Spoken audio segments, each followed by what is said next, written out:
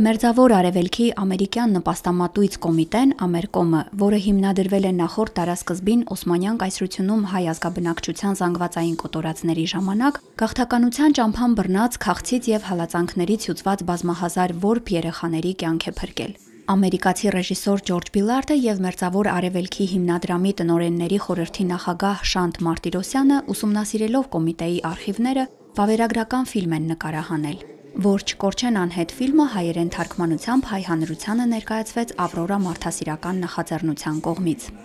Արխիվային իմաստով ինքը հզոր է եւ այնտեղ կան լուսանկարներ, կան կադրեր ֆիլմերից, որոնք առաջին անգամ լալով ենք տեսնում։ Նոր լույսի տակ մենք տեսնում ենք այդ որբերի ճակատագիրը եւ ինչպես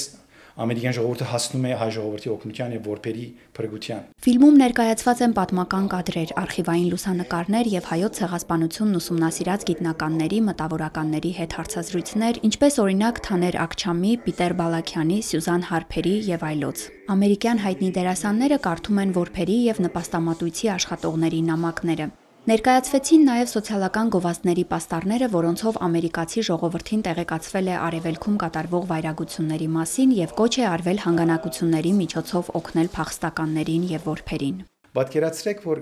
Golden Sunday ստեղծվեցավ ոսկե գիրագի օրեր, երբ ամերիկյան ընտանիքները ներս մարդիկ գիտեին, որ իրենց ուտելիքներու իրենց ուտելիքը, իրենց կերակուրից մի մասը պիտի հատկացնեին հայ որբերին։ Ֆիլմի պրոդյուսեր Շանտ Մարտիրոսյանի տատն ու պապը եւս փրկվել են նպաստամատույց կոմիտեի գործունեության շնորհիվ։ Նա ասում է, որ ֆիլմը ստեղծել է որպիսի լույս սփռի պատմության կարևոր փուլի վրա, երբ շարքային քաղաքացիների հանգանակություններով եւ համատեղ ջանքերով 132 հազար որբեր ոչ միայն փրկվեցին ոչնչացումից, այլև սովորեցին արհեստներ իրենց հետագա կյանքը կազմակերպելու համար ամենամեծ հայտնի թեմքը Հովանես Շիրազն է, որ օգտվեցավ ասֆորպանոցեն Գումրիի քաղաքին մեջ, որ անժամանակ Ալեքսանդր Պոլ էր 35000 որբ մեծուցին հոն Պոլիգանին մեջ, Սերվեսկի post, Կազաչի post, ամեն ադոնք որբանոց էին անժամանակ, որ ամերիկական Նիլիս Տրիլիֆը հոն աշխատում էր։ Հիմա նորեն 100 տարի վերջ նորեն նույն կորձ գնե 8 դարբեր երգիր երգիրի մեջ կաշխատենք Middle East-ի մեջ ռեֆյուջիներու հետ կաշխատենք հոսալ Հայաստան գավարի մեջ կորձ գնենք կոր գիներ որ ինչպես կսեն domestic violence աստված են ադոնց օգնություն կբերենք որ կորձ սորվեցնենք կամ small business բանան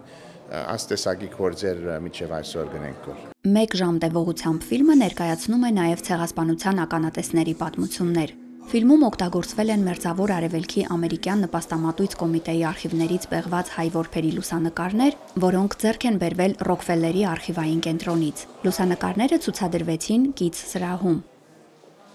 Սուսանա Պետրոսյան, Գևորգ Ավակյան, մշակութային ազդագիր։